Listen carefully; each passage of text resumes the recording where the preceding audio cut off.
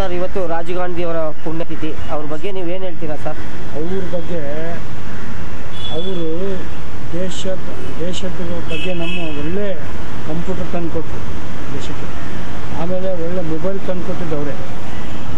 ಅವರೆಲ್ಲ ಒಳ್ಳೆ ಒಳ್ಳೆ ಕೆಲಸ ಮಾಡೋಗಿದ್ದಾರೆ. ಅವರು ಒಳ್ಳೆ, ನಮ್ಮ ರಾಜೀವ್ ಗಾಂಧಿ ಒಳ್ಳೆಯ ಮನುಷ್ಯ.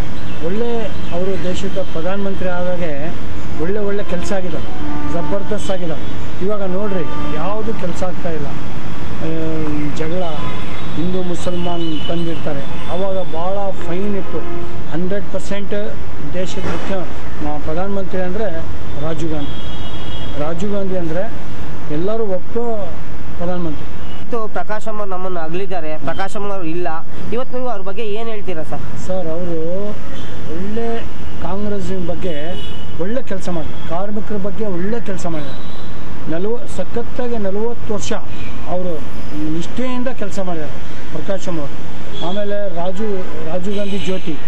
ಇಲ್ಲಿಂದ, ಇಲ್ಲಿವರೆಗೂ ಅವರು ಭಾಳ ರೀತಿಯಲ್ಲಿ, ಒಳ್ಳೆ ರೀತಿಯಲ್ಲಿ ಕರ್ಕೊಂಡು ನಾನೇ ಮೂರು ಸತಿ ನಾನು ಅವ್ರ ಜೊತೆಗೆ ಹೋಗಿದ್ದೀನಿ. ಅಂಥವ್ರು ಬೇಕು. ಅಂಥವ್ರು ನಾನು ಒಂದು ಇದಕ್ಕೆ ಆಕ, ಆಕಾಂಕ್ಷಿ ಆಗಿದ್ದೀನಿ. ಆದರೆ ಈ ತೀರ್ಮಾನ ಕಾಂಗ್ರೆಸ್ನವ್ರು ಏನು ಹೇಳ್ತಾರೆ? ಡಿ ಕೆ ಶಿವಕುಮಾರ್ ಇರ್ಬೋದು, ಪೂರ್ತಿ ಸಿದ್ದರಾಮಯ್ಯ ಇರ್ಬೋದು, ಸಲೀಂ ಮೊಹಮ್ಮದ್ ಅವರು ಇರ್ಬೋದು, ಎಲ್ಲರೂ ಏನು ಹೇಳ್ತಾರೆ? ಯಾರಿಗೆ ಒಳ್ಳೆ ಅವರು, ಅವ್ರ ಇದಕ್ಕೆ ಯಾರು ಸೂಚ್ತಾ ಇದ್ದಾರೆ ಅವ್ರಿಗೆ ಕೊಡಲಿ. ನಾನು ಒಪ್ಪಿದ್ದೀನಿ ನಾನು ಇಂಟೆಕ್ನಾಗ ಕೆಲಸ ಮಾಡೋಕ್ಕೆ ನಾನು ಒಪ್ಪಿದ್ದೀನಿ ಥ್ಯಾಂಕ್ ಯು